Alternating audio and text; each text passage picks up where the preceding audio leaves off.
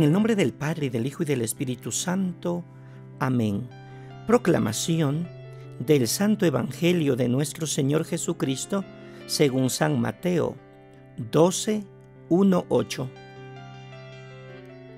Un sábado atravesaba Jesús por los sembrados.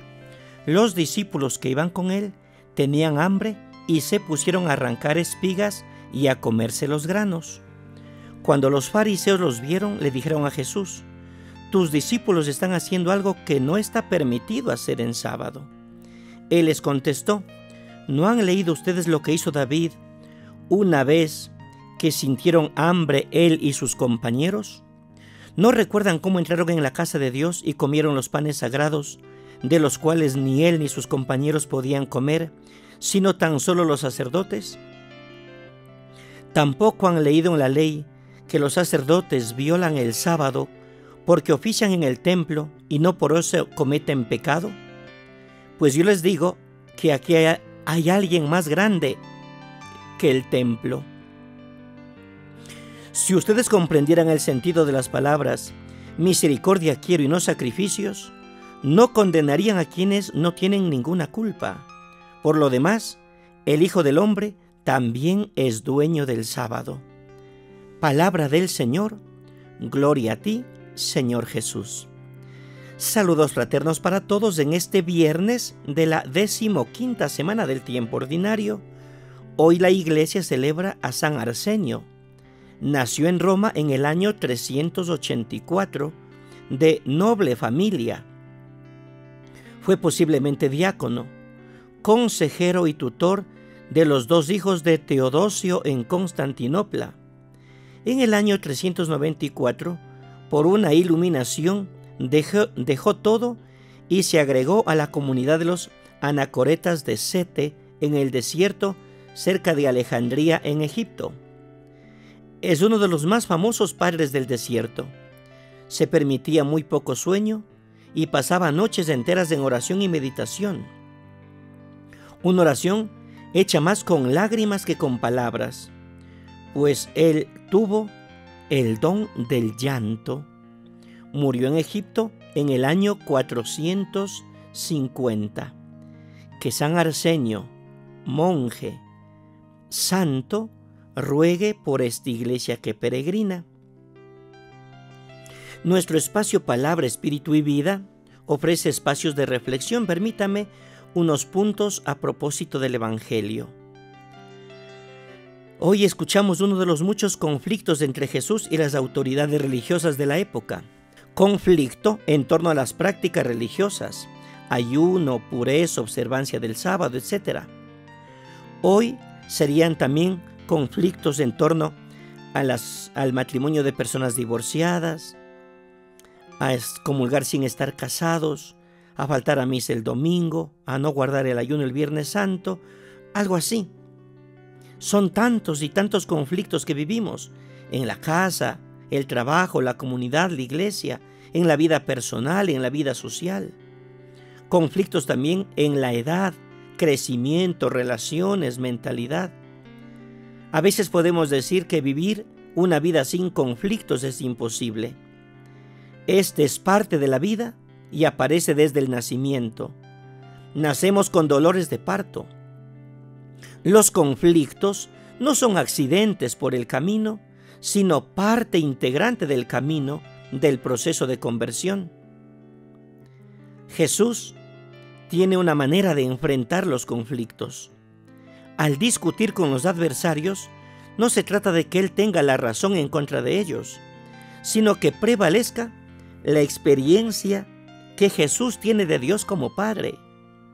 La imagen de Dios que ellos tenían era de un juez severo que amenaza y condena. Jesús hace prevalecer la misericordia sobre la observancia ciega de las normas y leyes que no tenían nada que ver con el objetivo de la ley, es decir, con la práctica del amor.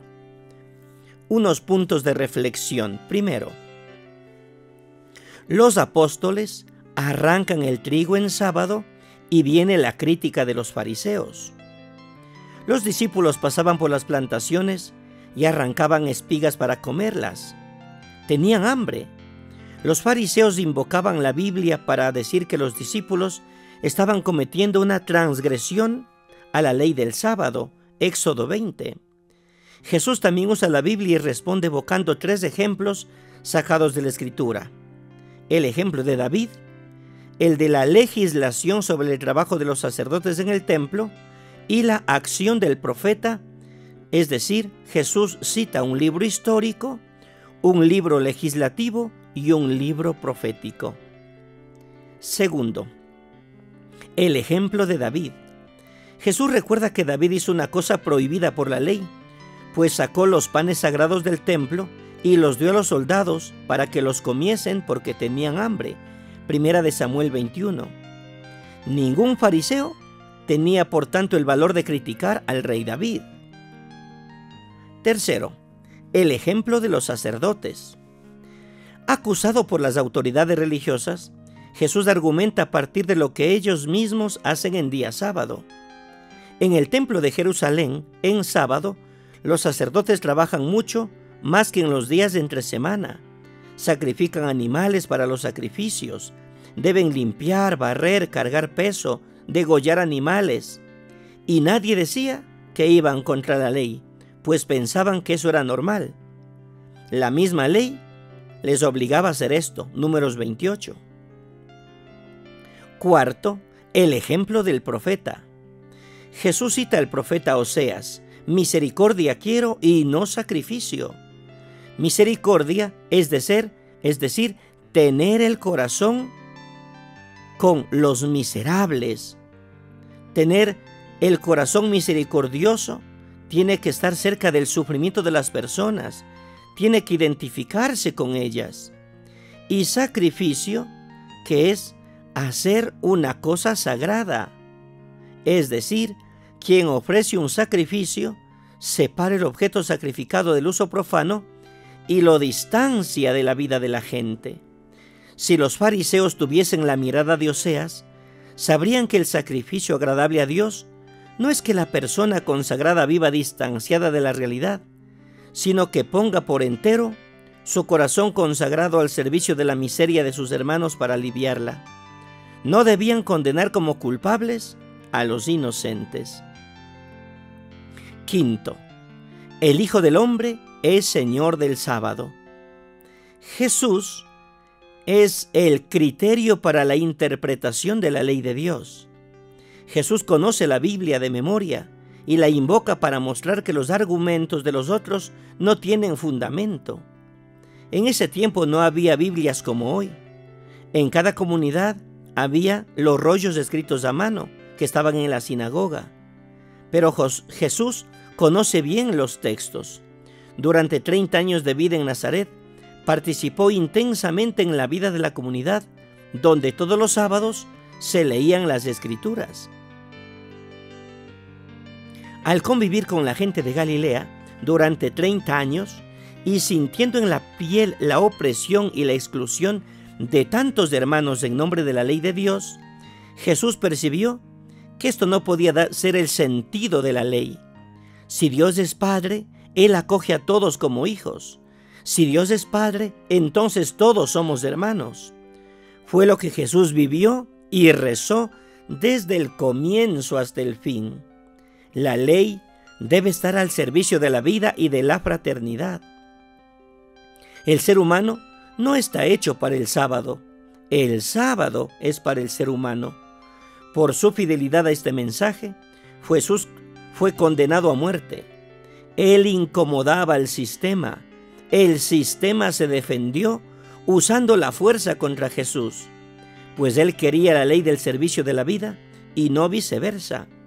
Falta todavía mucho para que tengamos esa misma familiaridad con la Biblia y la misma participación en la comunidad como Jesús. Que Dios nos conceda poner por obra la palabra recibida, así sea. En el nombre del Padre, y del Hijo y del Espíritu Santo. Amén. Un santo día. Pasen bien.